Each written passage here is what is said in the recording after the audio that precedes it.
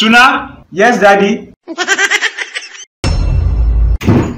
Daddy? Yes, Tuna. I watched an American movie today. What did you learn from the movie? I learned a lot from it. Like what and what? I learned like, hello daddy. Uh-huh. What are you daddy? Uh-huh. Daddy, you are a motherfucker. What? I'm a motherfucker.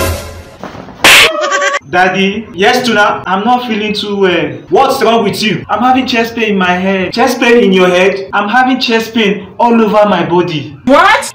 I think I need to see the plumber.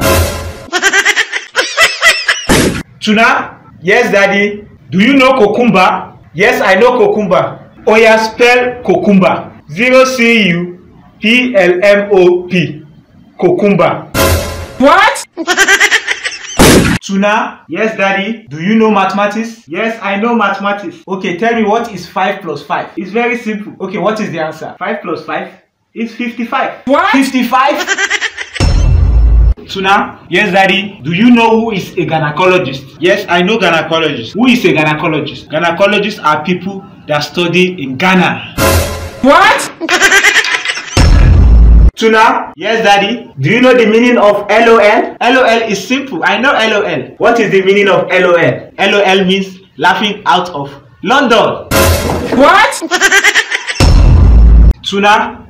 Yes, Daddy. Where is your medulla oblongata located? My medulla oblongata is located in my stomach. What? Tuna? Yes, Daddy. What is the past tense of house? The past tense of house is uncompleted building. What? You will end up in McDonald's. Tuna? Yes, Daddy. If the people that live in Rome are called Romans, what do you call the people that live in Las Vegas? People in Las Vegas, they are called vegetarians. What?